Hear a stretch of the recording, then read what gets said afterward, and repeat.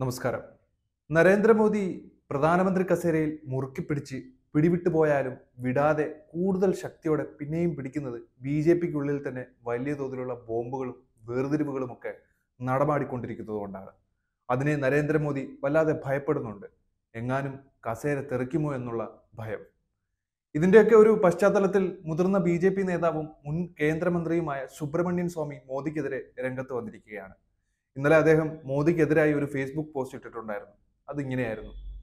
R S S പ്രചാരകന്റെ സംസ്കാരത്തോട് പ്രതിബന്ധതയുള്ള മോദി സെപ്റ്റംബർ പതിനേഴിന് തന്റെ എഴുപത്തഞ്ചാം ജന്മദിനത്തിന് ശേഷം മാർഗദർശൻ മണ്ഡലത്തിലേക്ക് വിരമിക്കുമെന്ന് പ്രഖ്യാപിച്ചില്ലെങ്കിൽ പ്രധാനമന്ത്രി കസേര മറ്റ് മാർഗങ്ങളിലൂടെ അദ്ദേഹത്തിന് നഷ്ടപ്പെടും എന്നായിരുന്നു സുബ്രഹ്മണ്യ സ്വാമിയുടെ കുറിപ്പ്.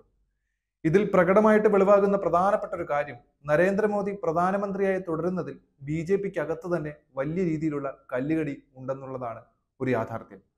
മോദിയുടെ പ്രധാനമന്ത്രി പദത്തെ ചൊല്ലിയുള്ള തർക്കങ്ങൾ ചേരിതിരിഞ്ഞാണ് ബി ജെ പിക്കുള്ളിൽ നടക്കുന്നത്.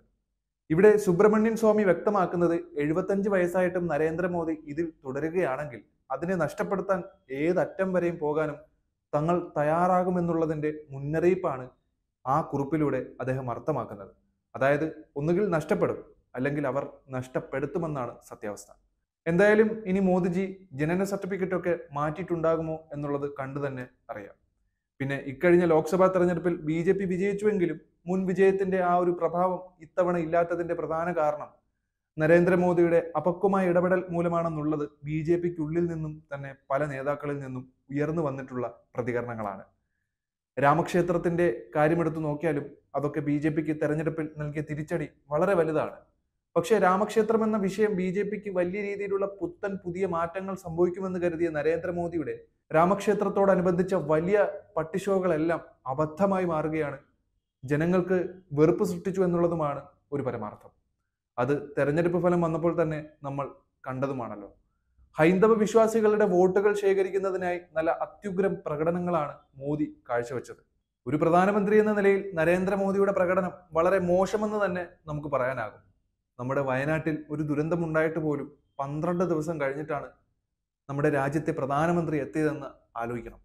ലോകരാജ്യങ്ങൾ പോലും വയനാട് ദുരന്തത്തെക്കുറിച്ച് ദുഃഖം പങ്കിട്ടപ്പോഴും ലോകരാജ്യങ്ങൾ പോലും വയനാട് ദുരന്തത്തെക്കുറിച്ച് ദുഃഖം പങ്കിട്ടപ്പോഴും ആശ്വാസവാക്കുകൾ പ്രവഹിച്ചപ്പോഴും ഇന്ത്യൻ പ്രധാനമന്ത്രി മാത്രം ദുരന്തമുഖത്ത് എത്തിയില്ല.